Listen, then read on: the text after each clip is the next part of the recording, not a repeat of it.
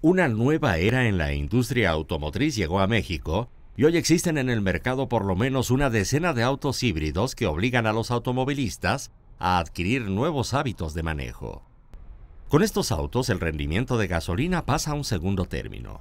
Lo que se busca es el máximo aprovechamiento del sistema eléctrico de la unidad. Para poder explotar más la eficiencia es ocupar lo más que se pueda el motor eléctrico. Entonces, como que aprender a manejar a velocidades crucero es lo óptimo para poder tener la mayor eficiencia en cualquier híbrido. Entra tanto el motor eléctrico como el motor a combustión para darle el máximo torque y la máxima potencia al vehículo. Para potencializar un auto híbrido, es necesario saber conducirlo y entender su funcionamiento.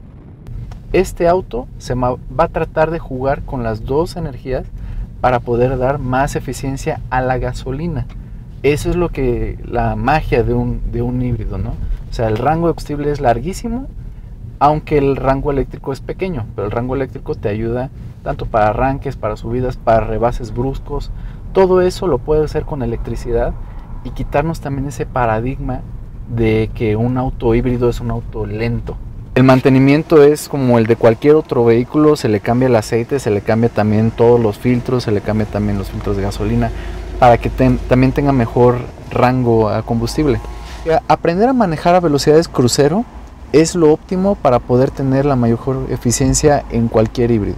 Los vehículos híbridos utilizan una batería para el funcionamiento de su sistema eléctrico y otra para conducción, lo que ayuda al bolsillo del conductor y al medio ambiente. Con información de Diana Domínguez e imágenes de José Luis Leone. Notimex.